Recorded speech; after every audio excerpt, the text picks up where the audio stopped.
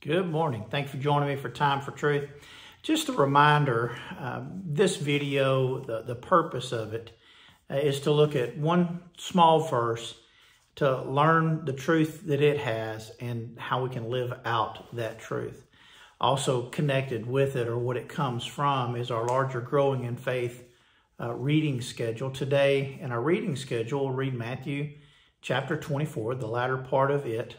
Uh, but today, verse 44 says this, Therefore you also be ready, for the Son of Man is coming at an hour you do not expect.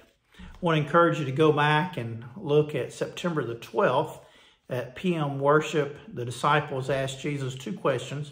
When would he return and what would be the signs of that returning? Uh, chapters 24 and 25, he's answering those two questions. So we looked closely at when he's returning and uh, what are the things that'll help us know uh, signs that, that signifies that he's coming. Uh, but here really sums it up all very well and what we should do.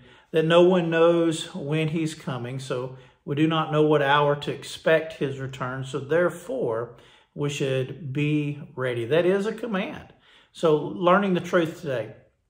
Jesus commanded uh, to be ready for his return because we do not know the specific time. Living out this truth. Live ready by simply following Jesus until his return. To, to not get bogged down and confused and everything with all the small details, just keep it simple. Be ready for his return by following him until he returns. Let's pray together. God, we do thank you so much for your great love for us and Lord, even uh, answering the questions that we have, we want to know details and, and the intricacies of, of, of the big plan.